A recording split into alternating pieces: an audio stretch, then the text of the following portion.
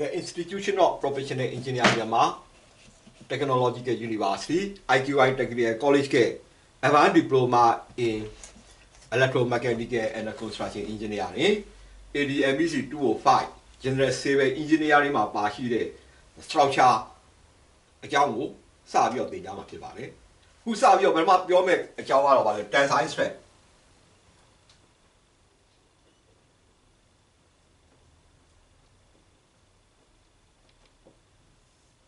တန်ဆိုင် stress ဆိုတာကနော်ဆွဲအားဆွဲတဲ့ခါမှာဆိုရင်အဲဆွဲတာကိုခံနိုင်တဲ့အားအဲ့ဒါကိုဗာလဲဆိုရင်နော်ဆွဲတဲ့အားတွေမှာဖြစ်ပေါ်လာတဲ့ဓာတ်အားပေါ့လေအဲ့ဒါကိုတန်ဆိုင် stress လို့ခေါ်တယ်အရာဝတ္ထုတစ်ခုကိုဆွဲလိုက်တယ်ဆွဲတဲ့ခါမှာဆိုရင်အဲ့ဒီအရာဝတ္ထုထဲမှာဖြစ်ပေါ်လာတဲ့အားအဲ့ဒါတန်ဆိုင် stress လို့ခေါ်တယ်အဲ့တော့ဒီအရာဝတ္ထုကပထမဒီလိုပုံစံရှိနေတယ်အဲ့ရနေပြီးတော့မှဒီဆွဲလိုက်တဲ့ခါမှာဆိုရင်ဒီအရာဝတ္ထုကရှည်ထွက်သွားတယ် နောက်ပြီးတော့ဒီတော့သူ့ရဲ့ဒီ diameter ဒီ diameter ကလည်းကျုပ်ဝင်သွားတယ်အဲ့တော့အဲ့လိုဖြစ်ပေါ်လာတဲ့ဒီအလျားပေါ့လေအဲအဲ့တော့အဲ့လိုဖြစ်ပေါ်လာတဲ့ဒီအလျားကဒီဟာဆိုရင် tensile force ရှိတယ်ဒါကဘာလဲဆိုရင် maximum tensile force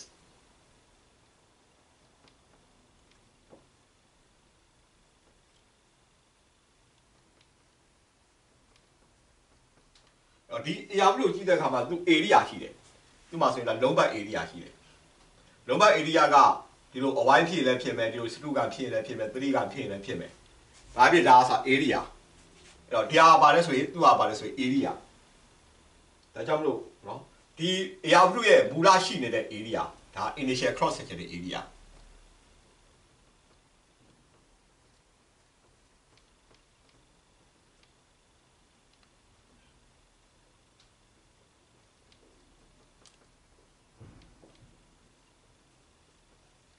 နော် initial cross section ရဲ့ area ဒီအပြုရဲ့လုံးပတ်ကိုမှနော်ဒါ initial cross section ရဲ့ area မူလရှိနေတဲ့နော်ကန့်လန့်ပြတ် area ပေါ့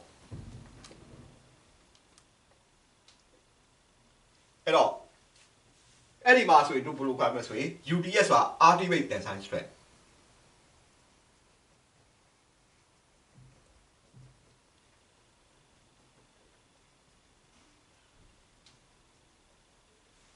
ultimate tensile strength က U equation ရေးလို့ရတယ် maximum tensile force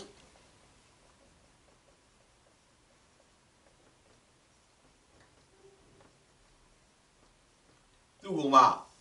initial cross section ရဲ့ area နဲ့စားမယ်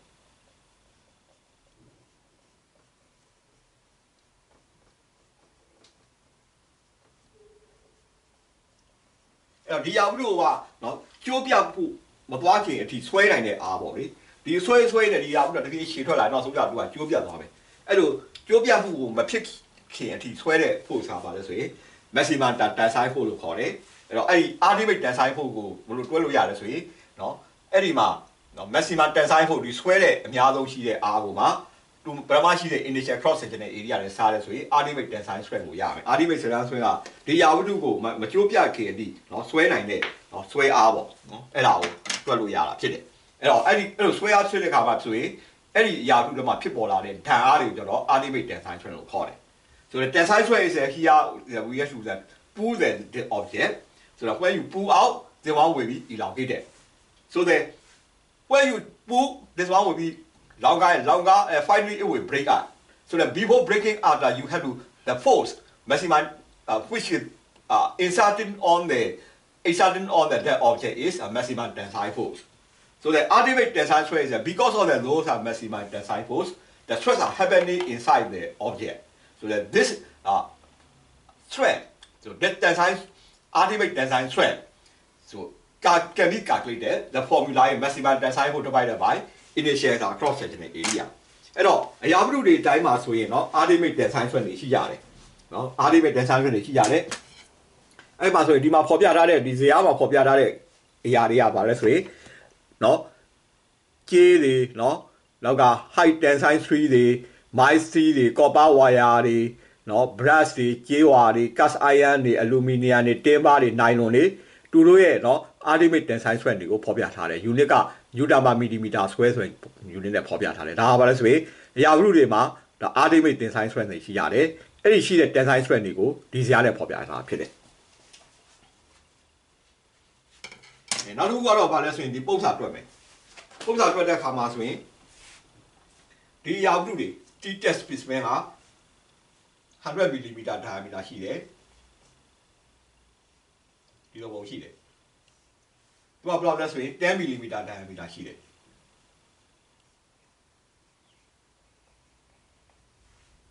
သူ့ပေါ်မှာမှတက်ဆိုင်ဆွဲငါပါလဲဆိုရင်တက်ဆိုင်လုံးက37 kN တက်ရောက်နေတယ်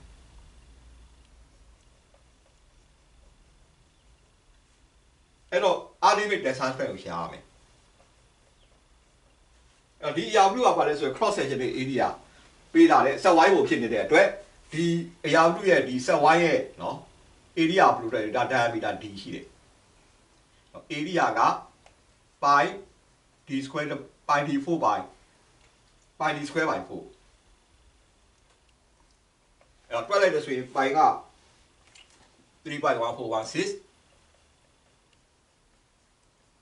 3 by 1416 diameter ကဘယ်လောက်ရှိလဲဆိုရင်10 mm ဆိုတော့10 square divide by 4အဲတွက်လိုက်တဲ့အခါမှာ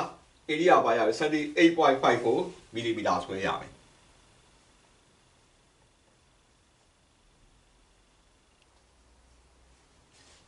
အဲ့တော့မှ ultimate tensile strength တွက်မယ်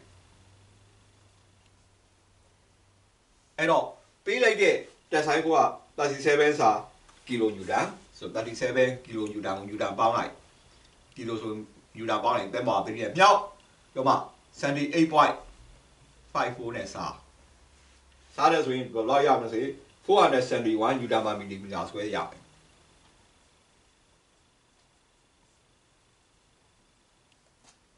ဒါပါလို့ဆိုရင်ဒီ air output ရဲ့ ultimate tensile strength စီ471နျူတန်ပါမီလီမီတာဆွဲဆိုတာရတာဖြစ်တယ်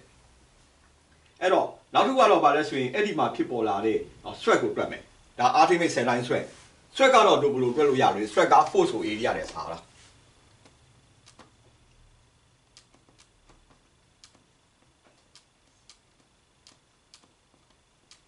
အဲ့တော့ stress ကိုကသင်္ကေတဘယ်လိုပြလဲဆိုရင် F နဲ့ပြတယ်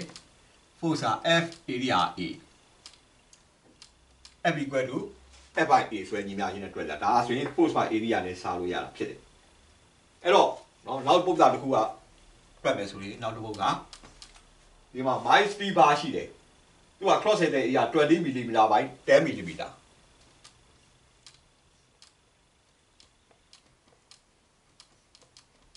အကုန်လုံးကမီလီမီတာနဲ့ပေးတယ်အဲ့ဒီ minus 3 bar တစ်ခုရှိတယ်အဲ့ဒီပေါ်မှာမှနော်တန်ဆိုင်ဖို့ဆက်တက်ရောက်နေ18.8 kN တက်ရောက်နေတယ်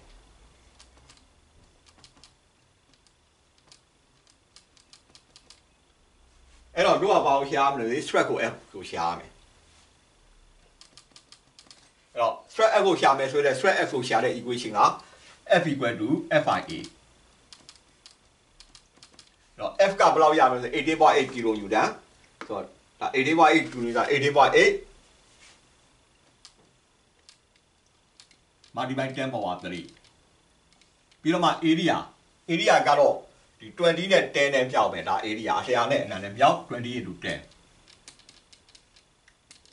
ဒါကိုတွက်လိုက်တဲ့ခါမှာဆိုရင် area ဘယ်လောက်ရဆိုရင်နော်ဒီ force က unit ကပါလဲဆိုရင် pascal newton per millimeter square တနည်းအားဖြင့်ဆိုရင်ဒါ newton per millimeter square force က unit က newton ဒီ stress က unit က pascal newton per millimeter square area unit ကတော့ millimeter square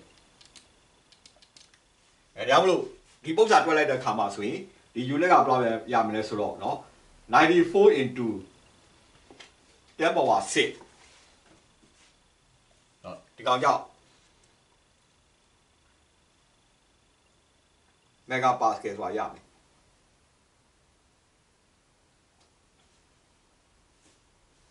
ဆိုတော့94 ယူနာမမီလီမီတာဆွဲစာရတယ်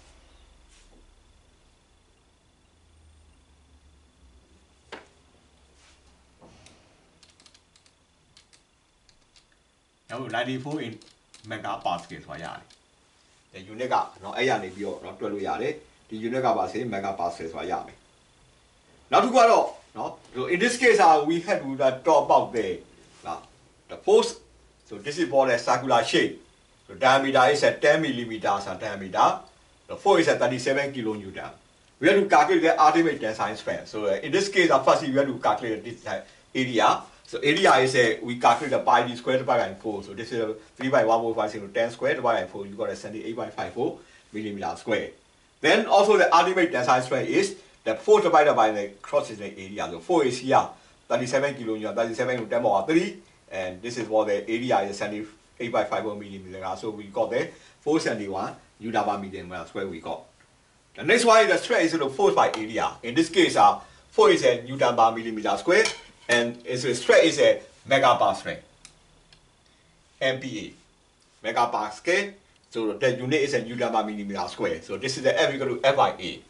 so in this case this area is 20 into 10 20 by 10 in this case 4 is a 18 by 8 uh, kilonewton a certain so therefore the, the stress equal to 4 divided by area 4 is a 18 by 8 into 10 power 3 area is 20 multiplied by 10 so you got that 94 newton per millimeter square this is equal, also equal to 94 megapascal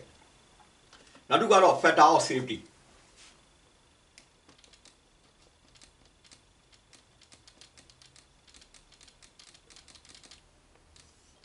အဲ့တော့အရာဝတ္ထုတွေအကုန်လုံးမှာဆိုရင်အများဆုံးဆွဲနိုင်တဲ့အားရှိတယ်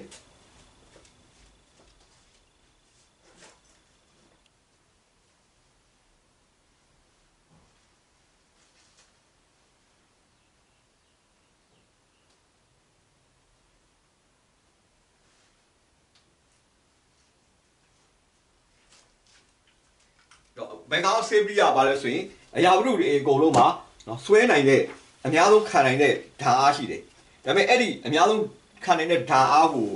တွက်လိုက်ရင်အရာဝတ္ထုတွေကကျိုးပြတ်သွားတယ်ဒါမှမဟုတ်နော်ရားထဲမှာကိန်းရှိရမယ်အဲ့ဒါဘာဘာလဲဆိုရင် maximum ultimate tensile strength ကိုမှ walking strength နဲ့စားရတယ်နော်ဒီအရာဝတ္ထုကအများဆုံးကဥပမာအဖြစ်နော်94စာနော်ဒီ megapascal ပေးလိုက်တဲ့ stress ဖြစ်လာတယ်ဒါပေမဲ့တကယ်တကယ်ဒီကကျိုးပြတ်တဲ့အထိနော်ဆွဲလိုက်တဲ့အားကြတော့ ဒီတဲ့အများကြီးပိုတယ်အဲ့တော့ဒီအဲ့ကျိုးပြတ်တဲ့အထိဆွဲတဲ့အားနဲ့နော်အများဆုံးခံနိုင်တဲ့အားနဲ့ကျိုးပြတ်ခုမပြုတ်ခင်အထိပေါ့လေအများဆုံးခံနိုင်တဲ့အားနဲ့နော်ပုံမှန်အလုပ်လုပ်ရမယ်နော်ဓာတ်အားအဲ့ဒီနှစ်ခုအချိုးစားအောင်ပါလို့ဆိုရင် factor of safety လို့ခေါ်တယ် in the factor of safety means uh, every object got the, the ultimate maximum tensile strength because uh, before the breaking up the tensile strength can be applied For but that we can't use at that, that time strength because every if you use it arm three, therefore that we can do determine the walking strength. The ratio between the um, ultimate tensile strength and uh, walking strength is a factor of safety. Therefore, therefore factor of safety are Fs and U. You know, Fs equal to ultimate strength divided by walking strength.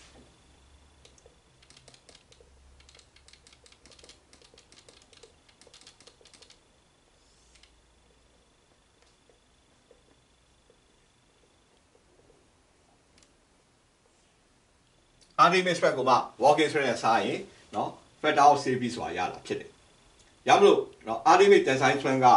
ကြောင့်လို့တို့ကပါလဲဆိုရင် factor of safety က walking straight ကို Artemis က design twin နဲ့စားရတာဖြစ်တယ်။ဥပမာအပြင်နော် maximum design twin က470ဖြစ်တယ်နော် walking straight က94ဆိုရင်ဥပမာအပြင်နော် Artemis straight က UTS က470ရှိတယ်ဆိုပါစို့အဲ walking straight ကပါလဲဆိုရင် F ကနော်94 mega per kg ရှိတယ်ဆိုပါစို့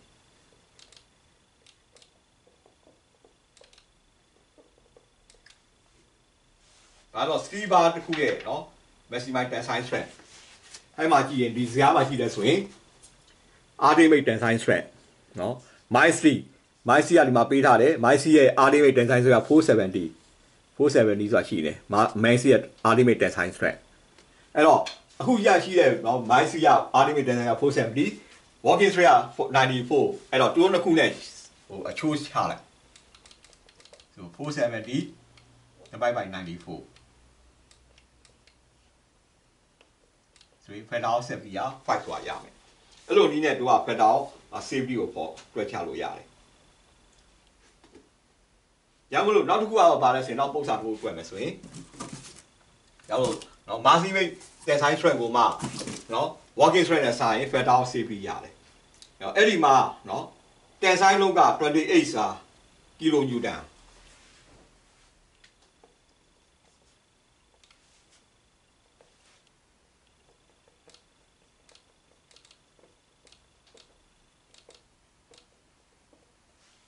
ဆိုင်လုံးက28စာ26 kilo newton ပေးထားတယ်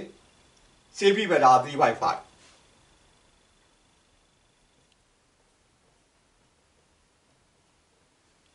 အဲ့လိုပေးထားတဲ့ဆိုရင်တို့ကဘာလို့ခါစားမလဲဆိုရင်နော် walking strap ကိုရှာရမယ်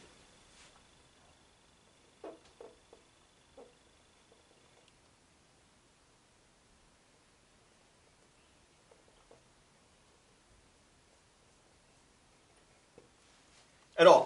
walking strap ကိုရှာမယ်ဆိုတော့နော် ultimate tensile strength ကိုမှနော် walking strap နဲ့စားတာ factor ကိုစေးပြီးရတယ်အဲ့တော့အာနော် safety factor factor ကိုစေးပြီးရ UDS ကို F နဲ့စားတာဖြစ်တယ်အဲ့တော့ F ဆိုရင် UDS ကို factor of safety နဲ့စားရမယ်အဲအောင်လို့ နော် UDS ကဘယ်လောက်ရလဲဆိုရင်တန်ဆိုင်လို့နော်တန်ဆိုင်လို့က26စာကီလိုနျူတန်အဲ့ဒါပေးထားတယ်အဲ့တော့ safety factor ကနော်3.6ကိုပေးထားတာဖြစ်တယ်အဲ့တော့ဗာလဲဆိုရင် height tensile 3 height tensile 3က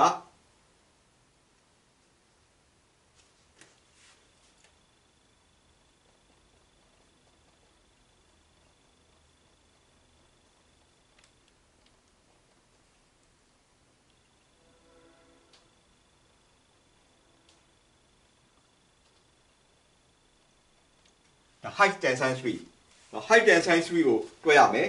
အဲအဲ့ဒီ height tensile 3ကနော်သူ့ရဲ့ tensile လောက်ကဆိုရင်နော်26ပေးနေတယ် series factor 3.5ဖြစ်တယ်အဲ့တော့ height tensile 3ကြတော့နော်သူ့မှာ ultimate tensile ဆိုတာဒီဇာတ်မှာပေးထားတယ် height tensile 3ဒီမှာကြည့် height tensile 3က ultimate tensile ဆိုတာ590ပေးထားတယ်နော်590ပေးထားတယ်အဲ့တော့ tensile လောကအဲ့တော့ factor of safety က stress ကိုမှနော် အဲ့တော့လုံးနိုင်တဲ့ stress ကဘယ်လောက်ရှိမလဲဆိုရင် ultimate tensile strength ကို factor of safety နဲ့စားလိုက်နော် ultimate tensile strength ကို factor of safety နဲ့စားလိုက်မယ်အဲ့တော့ factor of safety က3.5ကိုပေးထားတာဖြစ်တယ်။ဒါမလို့အဲ့ဒီ ultimate tensile strength ကိုက factor of safety နဲ့စားလိုက်တယ်ဆိုရင်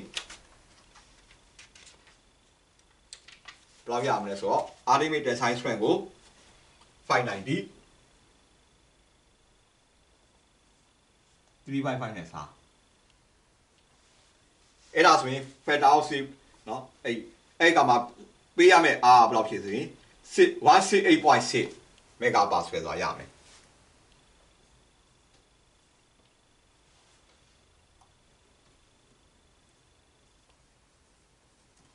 ဒါပါဆိုရင်အဲ့ဒီမှာရှိတဲ့เนาะ walking strap ကိုတွေးလို့ရတယ်เนาะ ultimate tensile strap ကိုမှเนาะ factor of safety နဲ့စားလိုက်တယ်အဲ့ဒါဆိုရင် walking strap က168.6 megapascal ဆိုတာရမှာဖြစ်တယ် in this case uh, we can see about the tensile load is a 26 kilonewton height uh, tensile 3 given safety factor 3 by 6 so we have to calculate the walking strap so that this walking strap is a not not this one we have to use that formula factor of safety is the ultimate tensile strap by strap walking strap walking strap is ultimate tensile strap by factor of safety therefore the in this uh, problems uh, we know about the um, height tensile 3 the height tensile 3 a formula is here. We call this uh, ultimate tensile strength this height tensile 3 ultimate tensile strength is uh, 590 no 590 height tensile 3 590 so this 590 is a ultimate tensile strength and divided by factor of CV 3 by 5 then we got the walking strength is 168.6 megapascal. So this is the way we calculate the, if you know about the material, if you know about the federal safety, then we can determine the appropriate working stress.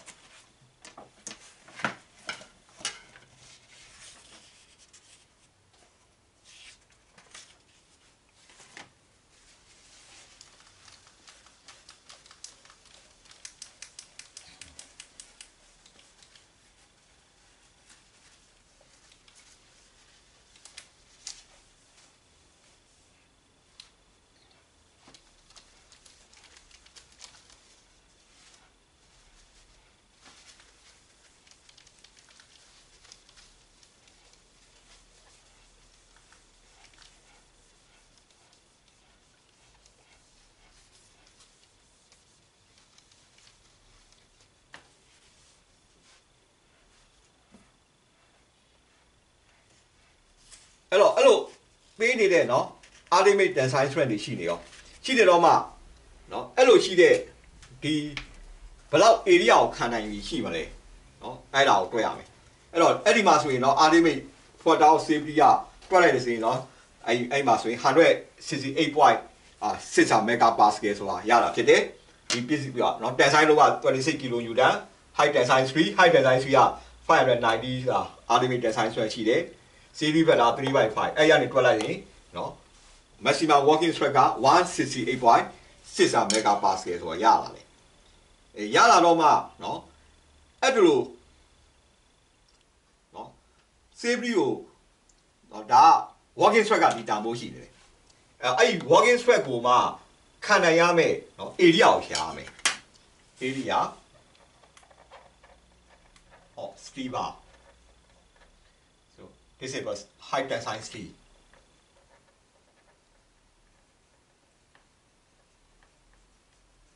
to withstand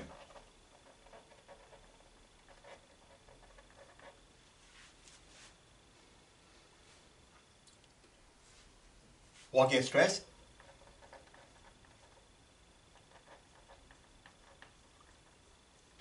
so the 168.6 megapascal tensile load 28 6 kilonewton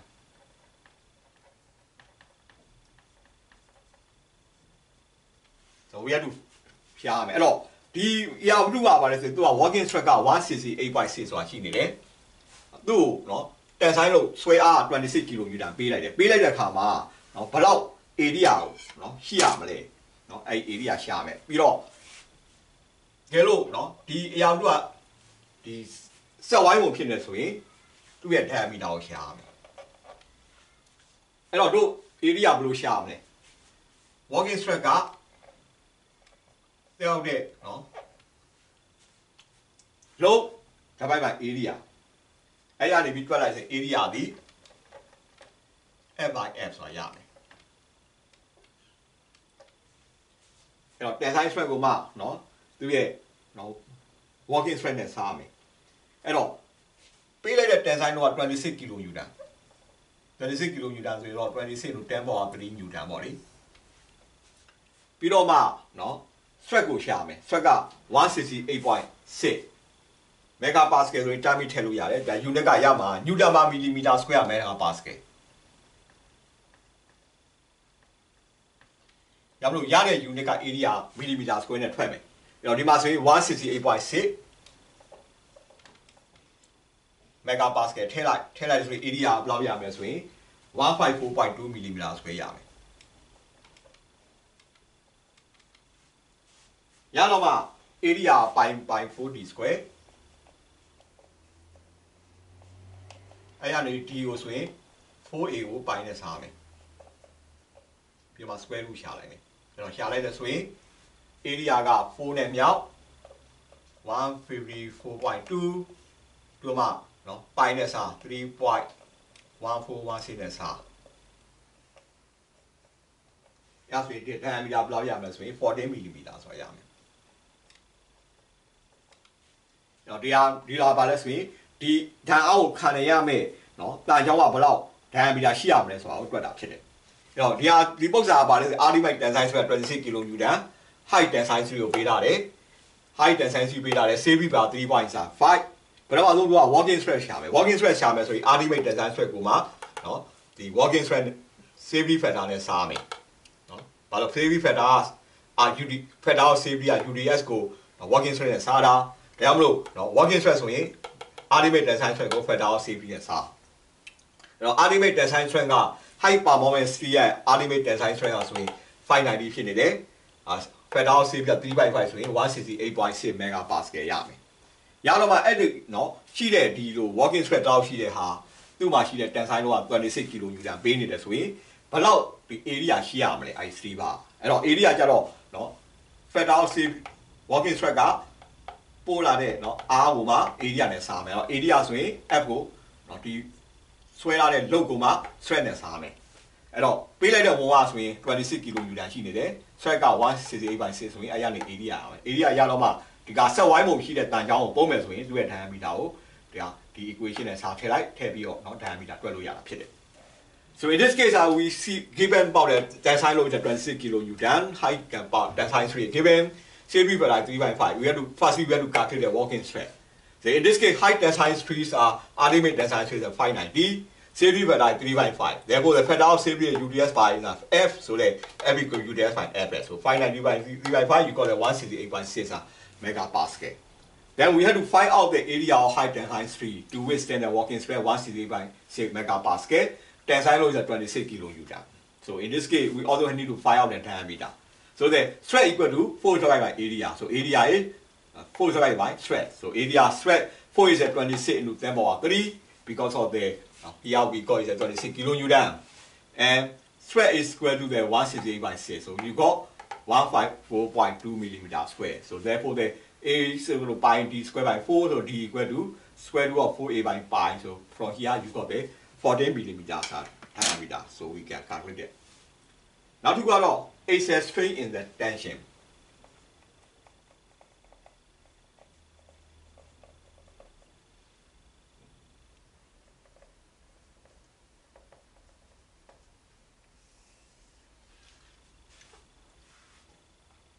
So excess strain in tension ကိုတွက်မယ် excess strain in tension ကြတော့ဘယ်လိုတွက်မလဲဆိုရင်ဒီအရာဘုကဆွဲလိုက်တဲ့အခါမှာဆိုရင်မူလရှိတဲ့အလျာဒါ L ရှိနေတယ်တို့ဆွဲလိုက်တဲ့ကဒါရှည်ထွက်သွားတယ်ဘလောက်ရှည်ထွက်လာလဲဆိုရင်ဒီအလျာ H ဆိုတာရှည်ထွက်သွားတယ်ရမလို့ string က E ကိုခေါ်တာ E ကအဲ့ရှည်ထွက်သွားတဲ့အလျာကိုမူလအလျာနဲ့စားဒီကနေအဲ့ရနေပြီးတော့ string ကိုရမှာဖြစ်တယ် so string equal to E equal to H by L E ရပါလဲဆိုရင် string ဓာတ်ဖြစ်တယ်လို့ခေါ်တယ် string ကတော့ unit မရှိဘူး h by n နဲ့เนาะစားရတယ်အဲ့တော့မူလရှိတဲ့အလျားနဲ့เนาะရွှေထွက်လာတဲ့အလျားရေထွက်လာတဲ့အလျားမူလရှိတဲ့အလျားနဲ့စားလဲဆိုရင် string ကိုရမှာဖြစ်တယ်အဲ့တော့เนาะနောက်တစ်ခုကဒီပုတ်စာမှာပေးထားတာကဘာလဲဆိုရင်ဒီမူလရှိတဲ့အလျားဒီမူလရှိတဲ့အလျားက 2.7မီတာရှိတယ်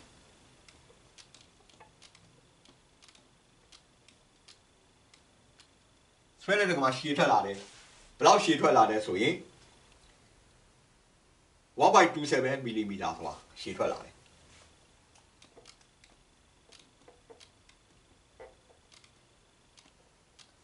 ဒီရောက်တူလေးကိုဆွဲလိုက်တဲ့အခါမှာဆိုရင်1.27စာ mm ဆိုတာရှည်ထွက်လာတာဖြစ်တယ်အဲ့တော့တို့က E ကိုရှာရမယ်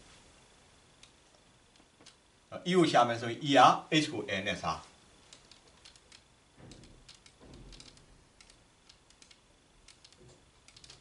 h ကဘယ်လောက်ရှိလဲဆို1.27 divided by နဲ့2.7 meter ရှိတယ်2.7 meter ဆိုတော့ millimeter ပြောင်းရင်10 power 3နဲ့ညွှန်ရမယ်ဒါဆိုရင်အဲ့ဒီမှာဆိုရင် string ကိုရမယ်ဒါကဘာလဲဆိုတော့0.47 into 10 power minus 3ဆိုတာရမယ်အဲ့တော့ဖြစ်ပါတဲ့ string က 0.47 into 10 power minus 3ဒါကဘာလဲဆိုရင်ဒီပု္ပ္ပာမှာတွက်လိုက်တဲ့တဲ့ string ကိုတွက်လို့ရတာဖြစ်တယ် So that is why the access strain in the tension. When you draw it, it will be elongated. So original length is a L. When you put the force, there will be uh, extension is a uh, elongation at H. So therefore the strain is equal to the H by L. So this is elongation, extended uh, length divided by original length. So therefore you got the strain. E equal to H by L. So that this uh, specimen, in this case original length is a 2.7 meter. When you draw it, it will be elongated 1.27 millimeter. Therefore, the E equal to H by L. So H is a 1.27. Original length is a 2 by 7 to 10 power 3 because of the meter is converted to millimeter multiplied by 10 power 3. Then from here you got the, the strain equal to 0.47 to 10 power minus 3. This is the way we calculate it. Now look at our hook law. ။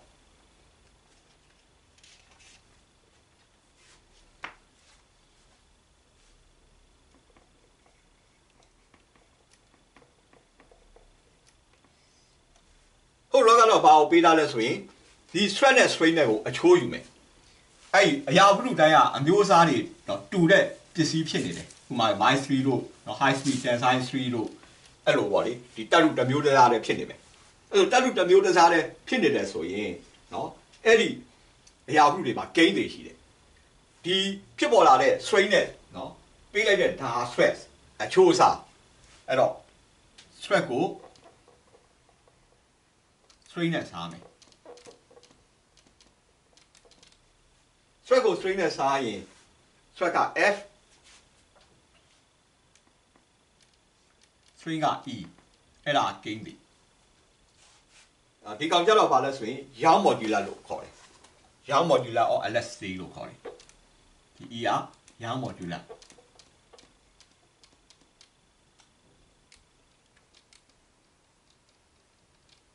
of LSD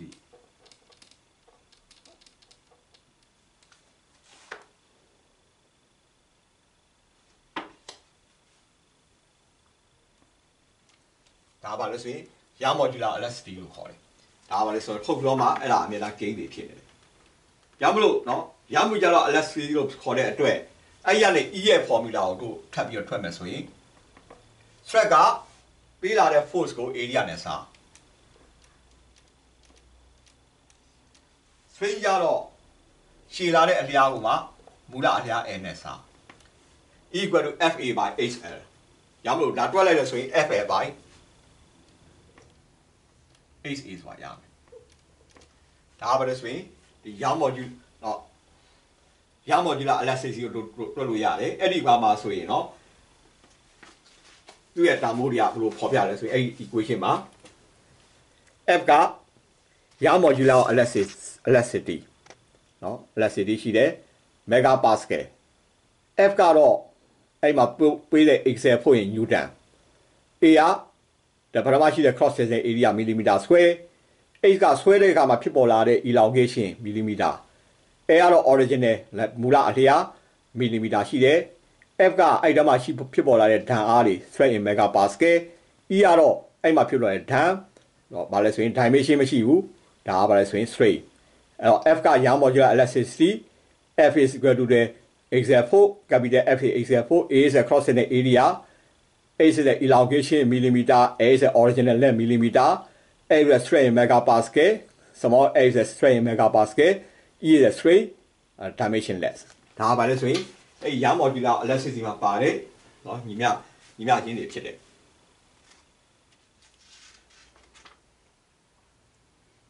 အဲ့တော့ရမော်ဒီလာ E ကအလူမီနီယမ်ရဲ့ ultimate tensile strength က150နော် အဲ့တော့အဲ့ဒီခါမှာဆိုရင်တို့ကဘယ်လိုရှာမလဲဆိုရင်နော်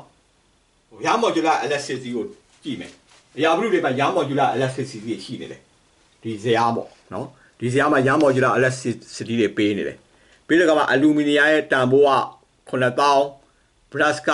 9000ရှိတယ် bronze က105000ရှိတယ်ကတ်ဆိုင်က120000ရှိတယ်ကော်ပါက11203လုံးရှိတယ်စတီးကနော်2 200,000ရှိတယ်တင်ပါက1000 12000ရှိတယ်ဒါပါလို့ဆိုရင်ရမော်ဂျူလာ elasticity ရဲ့တန်ဖိုးတွေပေးထားတယ်အဲ့တော့အဲ့ဒါကိုမူတည်ပြီးတော့ပုတ်စာကိုတွက်မယ်တွက်တဲ့ခါမှာဆိုရင်เนาะပထမဆုံးပါဆို my c bar ကိုပေးထားတယ်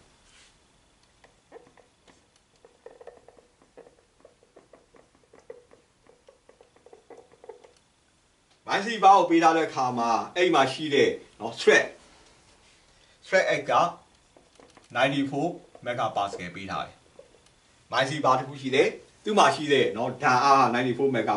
ပေးထားတယ်။အဲသူ့ရဲ့နော်ရှည်ထွက်လာတဲ့ straight ဒါ F က straight straight ကဘယ်လောက်ပေးထားလဲလို့ဆိုရင်4.7 into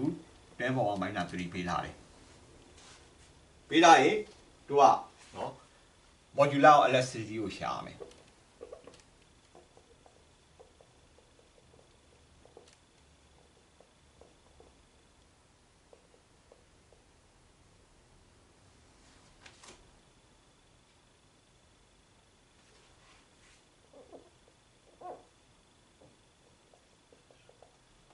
E ကိုရှာမယ်အဲ့တော့ E ကိုရှာမယ်ဆို E ရောက်ဘယ်လိုရှာမလဲ F ကိုမှနော် E နဲ့စားမယ် E က F ကို E နဲ့စားမယ်အဲ့တော့ F က94 megapascal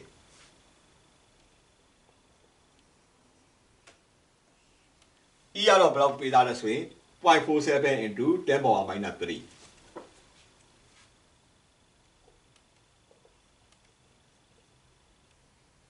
အဲ့လိုတွက်လိုက်လို့ဆိုရင်เนาะ E ရဲ့တန်ဖိုးရမယ်200,000 megapascal ရမယ်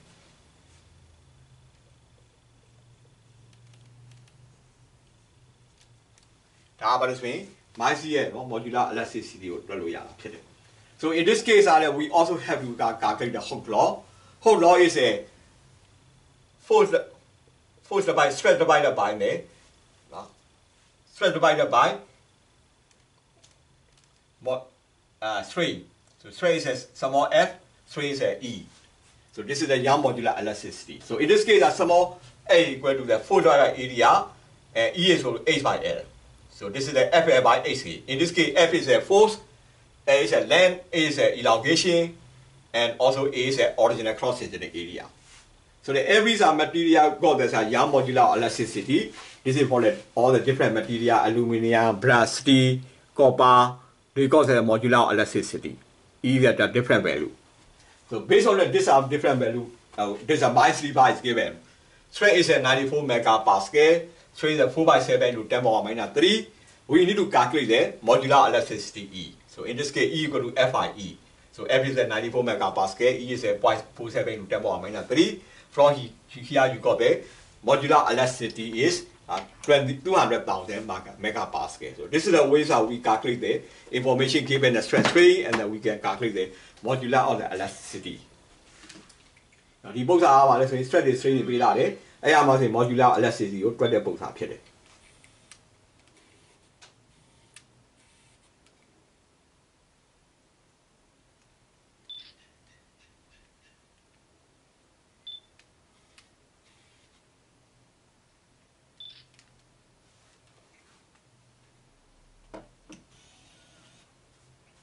အဲ့တော့နောက်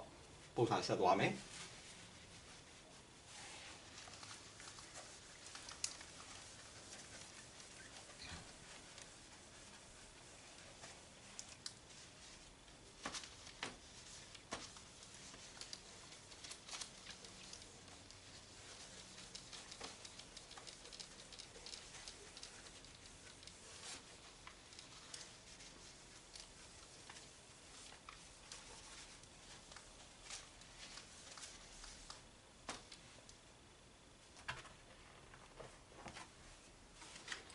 အဲ့တော့နောက်ပုံစံပေးထားတာပါလဲဆိုရင်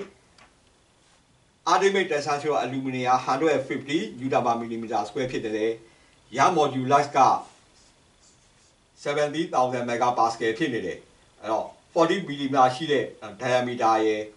အဲ့မှာ section က300 mm เนาะအရှည်ရှိတယ်။အဲ့လိုအရှည်ရှိတယ်။အဲ့လိုရှိတဲ့ဟာကိုတွက်မယ်။အဲ့တော့ဘာလဲဆိုရင်အဲ့မှာ aluminum စာ rock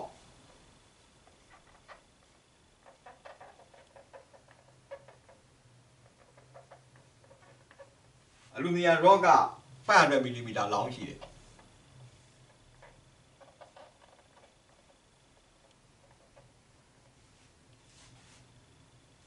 အဲ့တော့ short ရှိတဲ့ area ကိုနော်200 mm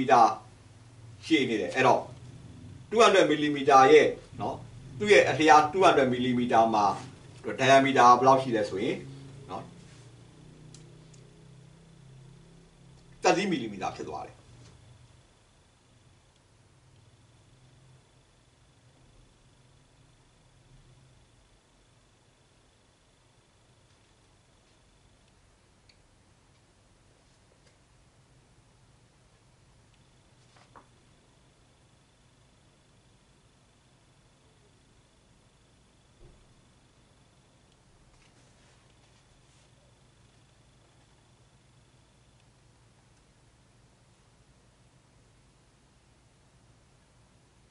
အဲ့တော့စုစုက500 mm ဒါဒီ500 mm ကဘယ်လိုရှိလဲဆိုရင်ဒီလိုပုံမှန်မဟုတ်ဘူးသူကနှစ်မျိုးရှိတယ်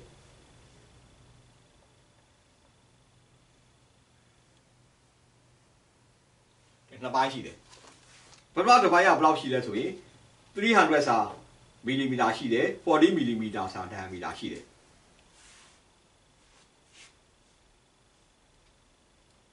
ဒီကဘယ်လောက်ရှိလဲဆိုတော့เนาะ 300မီလီမီတာရှိတယ်300မီလီမီတာရှိတယ်အဘောဒိုင်မီတာဘယ်လောက်ရှိလဲ40မီလီမီတာအဲ့ရနေပြီးတော့မှနောက်ဆွဲသွားတဲ့အခါမှာ200မီလီမီတာကိုဆွဲသွားတယ်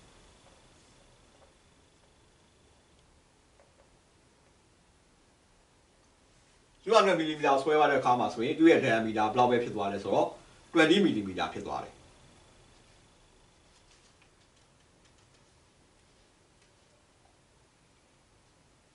လာ30မီလီမီတာဖြစ်သွားတယ်ဒီဒီဘိုင်းကဆိုရင်30မီလီမီတာဖြစ်သွားအောင်အဲ့တော့ဖြစ်သွားတဲ့ခါမှာသူသူကပေးနေတဲ့အိတ်ဆွဲလောက်ကဘယ်လောက်ပေးလဲဆိုရင်20ကီလိုမီတာပေးနေတယ်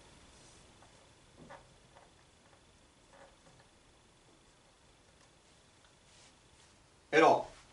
တို့ဘာကိုရှားမလဲဆိုရင်အဲ့နှစ်ပိုင်းလုံးမှာရှိတဲ့နော် elongation တွေဒီပထမပိုင်းမှာရှိတဲ့နော် elongation track ကိုရှားမယ်သူ့ဘာသူ့မှာရှိတဲ့ track ကဘယ်လောက်လဲနော်နောက်ကသူ့မှာရှိတဲ့ elongation h1 ကိုရှားရမယ်အဲဒီပိုင်းကြတော့လည်းပဲသူ့မှာရှိတဲ့ track ကိုရှားမယ်သူ့မှာရှိတဲ့ elongation h2 ကိုရှားမယ်အဲ့ဒါကြီးရှားမယ်နောက်က total elongation h ကိုရှာရမယ် total elongation h ကနော်ဘယ်လောက်ရှိမလဲနော်အဲ့ဒါကိုရှာမယ်နော်အဲ့မှာရှိလိုက်တဲ့ဒါအားဖြစ်တဲ့နော် e1 ကိုရှာရမယ်သူမှရှိတဲ့ e လာရှာရမယ်သူမှရှိတဲ့ e2 ကိုရှာရမယ်အဲ့ဒါကြီးရှာရမယ်နောက်တစ်ခုနော်အဲ့လိုရှာရမှာဖြစ်တယ်အဲ့တော့ အဲ့လိုရှာမယ်ဆိုတော့ဘယ်လိုစပြီးတွက်မလဲဆိုရင်နော်ပထမတစ်ပိုင်းဒီဘက်ပိုင်းကိုကြည့်မယ်နှစ်ပိုင်းရှိတာပေါ့လေဒီဘက်ပိုင်းကနော်အပိုင်း1နဲ့အပိုင်း2ဆိုတာရှိတယ်နော်ပထမပိုင်းဒါဒုတိယပိုင်းနော်ပထမပိုင်းက1ဒုတိယပိုင်းနဲ့2အဲ့တော့ပထမပိုင်းမှာရှိတဲ့နော် elongation တွေ ultimate tensile strength တွေအဲ့ဒါတွေရှာမှာဖြစ်တယ်နော်ပထမပိုင်းကျတော့ဘယ်လိုပေးထားလဲဆိုရင် အဲ့မှာရှိတဲ့ thread F1 F1 ကပေးနိုင်တဲ့ force F1 ကို area A1 နဲ့စားတာနဲ့ညီးတယ်။နော်ပေးလိုက်တဲ့ force ကဘယ်လောက်ရှိလဲဆိုရင်စူပါဆွဲအားကနော်20 kN ရှိတယ်။20 kN ကိုညူတာဖွဲ့လိုက်ရင်10ပေါ်3နဲ့မြောက်မယ်။ area ကျတော့40 mm ဆိုတာရှိနေတယ်။အဲ့တော့ဒါနော်ဆက်ဝိုင်းပုံဖြစ်နေတဲ့အတွက်ဒီအာဗါလဲဆက်ဝိုင်းပုံဖြစ်နေတဲ့အတွက်ဆက် ဆက်ဝိုင်းပုံဖြစ်နေတယ်ဒီဘာဆက်ဝိုင်းပုံဖြစ်နေတဲ့အတွက် pi by 4d square နဲ့တွက်မယ်အဲ့တော့ pi by 4d square နဲ့တွက်မယ်20 into 10 power 3 pi by 4က3.1416ကိုမှ4နဲ့စာ diameter 40 square ဘယ်လဲဆိုရင်အဲ့မှာရှိတဲ့เนาะ thread က15.92 megapascal အဲ့တော့ F1 ကိုရမယ်အဲ့တော့ E1 ကိုတွက်မယ်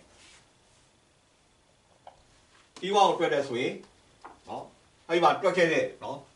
ဆိုရ E ရပါလဲဆိုတော့ F ကိုက E နဲ့စားတာရော E ရပါလဲဆိုရင်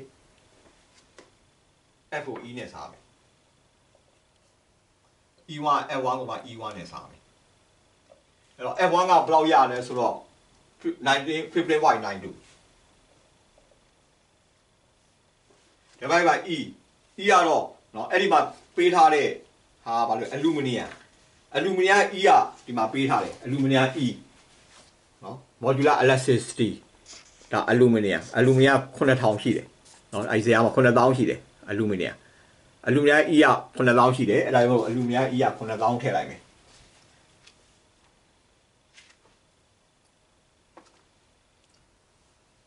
7 73000အဲ့လိုတွက်လိုက်တော့ဆိုရင် E1 ရဲ့တန်ဖိုးကဘယ်လောက်ပြလဲဆိုရင်0.227 into 10 power minus 3ဆိုတာရလာတယ်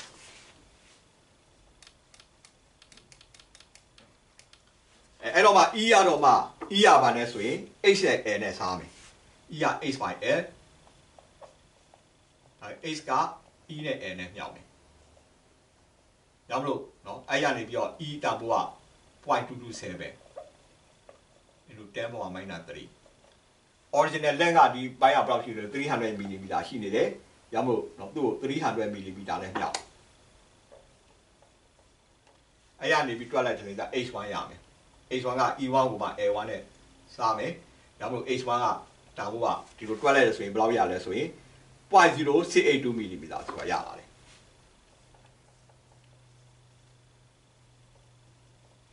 ဒါပဲလို့ဆိုရင် H1 ကိုတော့တွက်လို့ရတာဖြစ်နေတယ်အဲနောက်တစ်ခုနောက်တစ်ခုက F2 ဒါပထမပိုင်းဒုတိယပိုင်းကဒီ session ဒီ session နံပါတ်2တော့ F2 က F2 ကို A2 နဲ့စားမယ်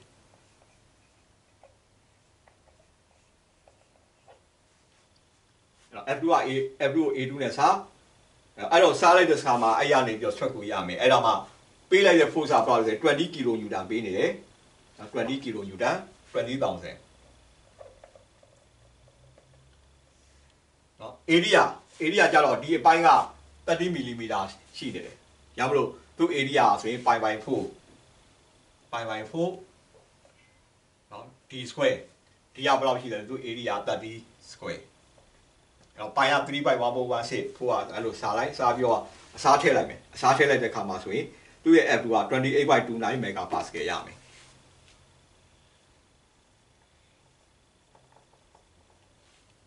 အဲပြီးတော့မှအဲ့ရနာဆင့် E2 ကိုတွက်မယ် E2 က F2 ကို E E နဲ့စား F2 ကဘယ်လောက်ရမလဲ28.29 E တန်ဘောကမပြောင်းလဲဘူးအလူမီနီယမ်ဖြစ်တဲ့အတွက်ဒါကိုပဲအစားထည့်လိုက်တယ် ထည့်တဲ့အခါမှာဆိုရင်အဲ့ရမှာလို့ဆင့်เนาะ E2 ရဲ့တန်ဖိုးကဘယ်လောက်ရမလဲဆိုရင်0.404 into 10 power minus 3ဆိုတာရတယ်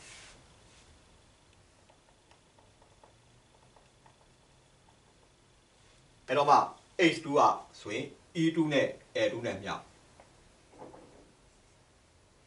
E2 က0.0 0.404 into 10 power minus 3 A2 ကျတော့200 အဲ့လိုရှင်းလိုက်တဲ့ခါမှာဆိုရင်ဘယ်လောက်ရမလဲဆိုရင်သူ့တန်ဖိုးဒီ0.0808ဆိုတာရတယ်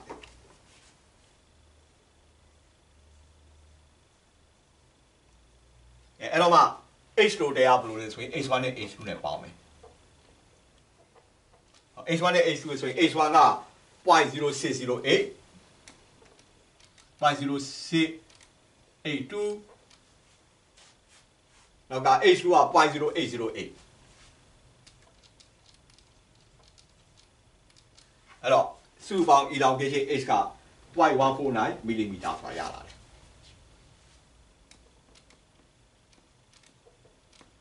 နောက်ဒီ ski bar ကိုမှတက်ရောက်လိုက်တဲ့အားကြောင့်မလို့ဖြစ်ပေါ်လာတဲ့ thread တွေကိုတွက်တယ်သူ့ရဲ့ elongation တွေကိုတွက်တဲ့ပုံစံပဲဖြစ်တယ်အဲ့တော့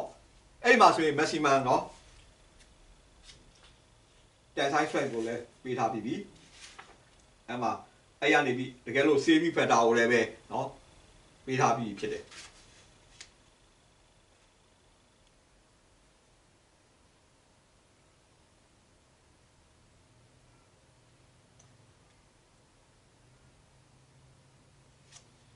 အဲ့တော့ဒီမှာဆိုရင်တကယ်လို့เนาะ ultimate design thread ဒီ sleeper ရဲ့ ultimate design thread 150နော်ကီလိုနျူတန်ပါနျူတန်ပါမီလီမီတာစကွဲဒီစတီဘာတကယ်လို့ ultimate tensor strain က150 newton per millimeter square ဖြစ်နေတယ်အဲအဲ့ဒီခါမှာဖြစ်ပေါ်လာတဲ့ safety factor ကိုတွေ့ရမယ်အဲ့တော့တကယ်လို့အဲ့ stiva က ultimate tensor strain ကအများအများဆုံးခံနေတာ150 newton per millimeter square ရှိတယ်ဆိုရင် saving factor ဟိုတွက်ရမယ်ဘယ်လောက် saving factor ရှိမလဲအဲ့တော့အဲ့ဒီ Stever ကတကယ်လို့နော်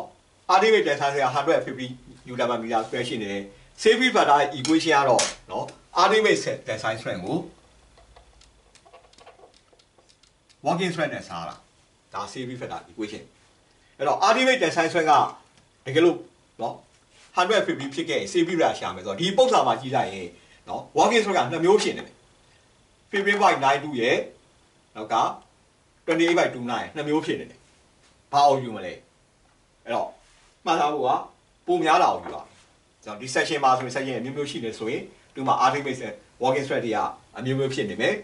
အဲ့တော့ဘယ်ကအများဆုံးလဲအများဆုံးက28 by 2 line ဒီ section တစ်ခုမှာ1မှာရှိတဲ့ walking thread က15 by 92 2မှာရှိတဲ့ walking thread က28 by 2 line အဲ့တော့ပုံများတဲ့ဟာကိုယူရမယ်ရမလို့တကယ်လို့ ultimate design strength က150ဖြစ်တဲ့ CV မလားရှာမှာဆိုရင် walking thread ထည့်ရမယ် walking thread ကပုံများတဲ့28 by 2 line ကိုထည့်ရမယ်ဒါကြောင့်မလို့ဒီပုံစံမှာဆိုရင် CV ဘက်ကဒီ5 by 3ဆိုတာဖြစ်နေတယ်ဒါလည်းအပြန်လာပေါ့လေဒီလိုเนาะဟို diameter မတူတဲ့ဘားတွေအမျိုးမျိုးရှိနေခဲ့မယ်ရှိနေခဲ့မယ်သူ့ရဲ့เนาะ ultimate center strength ကပေးထားမယ်ဆိုရင်เนาะအဲ့မှာเนาะ safety factor တခုလည်းပေးလိုက်မယ်ပေးလိုက်တယ်ဆိုရင်အဲ့ဒီ safety factor ကိုအခြေခံပြီးတော့ တွက်လို့ရတဲ့ walking spread ဒီနော်ပို့ပြီးတော့များတဲ့အပိုင်းကိုကိုစားပြုတယ် walking spread ပိုများတာပေါ့လေ diameter ပိုသေးတဲ့အပိုင်းကိုပို့ပြီးတော့ကိုစားပြုတာဖြစ်တယ်အဲ့လိုယူဆရမယ်နော်ဒါအပြန်အလှန်ပေါ့ဒါကြောင့်လဲဆိုတော့ဒီပု္ပ္ပစာမှာတို့တွက်လိုက်တဲ့ခါမှာစီ ultimate design ဆိုပေးထားတယ်နော်အဲ့တော့ CP Fella ရှာမယ် ultimate design ဆိုတော့ walking spread နဲ့စား walking spread ကဒီမှာနှစ်ခုရှိနေတယ်ဘယ်ဟာယူမလဲဆိုရင်တို့ကပုံများတာယူတယ်နော်ဒါကြောင့်သူပုံများရွက်စေးပြီးတာတွက်တယ်အဲ့တော့အပြန်အလှန်တကယ်လို့သွားမယ်နော် CP factor ပေးထားတယ် ultimate design ဆွဲပေးထားတယ် working thread ရှာပါဆိုရင်အဲ့လိုရှာလို့ရတဲ့ working thread ဒီဘာကိုကိုစားပြုလဲဆိုတော့ပို့ပြီးတော့ diameter သေးတယ်နော်အပိုင်းကိုပို့ပြီးတော့ကိုစားပြုတာဖြစ်တယ်ဒါဆိုရင်ဒီပု္ပ္ပာရဲ့နော်သဘောကအဲ့လိုရှိတာဖြစ်တယ် In this case, uh, this is a zero. Uh, this is the overall diameter is a 500 millimeter. The part one is a 300 millimeter. Part two is 200 millimeter. So the this one part one will be the 40 millimeter diameter. Part two is a 30 millimeter diameter. So we are putting the exerting the force at 20 kilonewton. So we have to find out the F1, H1, E1, F2, H2, and E2. F1 is a thread. H1 is a elongation. No, H1 is a strain. Elongation. E1 is a elongation. F2 is thread, H2 is a elongation, E2 is a strain. Those things have to be calculated. Therefore, we have to calculate thread equal to walking, uh, walking force divided by the area. So the walking force is a, a 20 kilonewton divided by area pi by 4 d square. So area is equal, here we uh, substitute a 40 millimeter square. So we got 50 by 92 is a megapascal. And from here we got the E1 is the F1 by E. F1 is square to the uh, 15 by 92 E is 70,000 so we got 0.227 to 10 power minus 3 we got in the meter is uh, H1 equal to E1 multiplied by L1 so E1 is a, this way we substitute original length that 300 you substitute you got a 0.062 millimeter we got similarly F2 equal to F2 by A2 so that force is at 20 kilo kilonewton area is at here you got a pi by 4 d square so you got a 28.29 megapascal so E2 equal to F2 by E. So from here, F2 is at 28 by 29. E is at 70,000. So you got 0.404. H2 is E2 by multiply A2. So 0.404 multiply 10 power minus B 200. You got a 0.808 millimeter. So therefore the elongation, H1 elongation, H1 are uh, elongation, H2 elongation. We add together. So the elongation is 0.0682 plus 0. 808 you got the 0.149 millimeter we got ultimate thread is a 115 newton millimeter square in this case our ultimate design thread is 115 newton millimeter square given and we have to calculate the safety factor so the ultimate design thread is UDI 150 but we have to substitute the walking thread so is a walking thread there are two values in this case we have to take the higher value. So this is that 28 by 2 we substitute 5.3. Similarly, sir, if the safety factor is given, ultimate design strength is given, so there are different cross-section area of the bar What will be the walking strength? So the walking strength is a represent the, the strength inside the smaller bar. So this is the way we have to assume that kind of problem. အဲ့တော့ဒါဒီအခုပိုင်းကိုဖော်ပြတဲ့အကျဉ်းကပါလို့ဆိုရင်ဒီ ultimate design strength တွေ safety factor တွေနော် modular elasticity တွေ elongation တွေအဲ့ဒီကြောင်းကိုသွားလာဖြစ်တယ်အဲနောက်တစ်ခုကတော့နော် compressor နဲ့ thermal stress ကိုဆက်သွားမယ်နော်အဲ့ဒါ အဲ့ဒီနော်ပုံစံဒီအပိုင်းကခဏရလိုက်မယ်နောက်နောက်တစ်ပိုင်းဆက်သွားမှာဖြစ်တယ်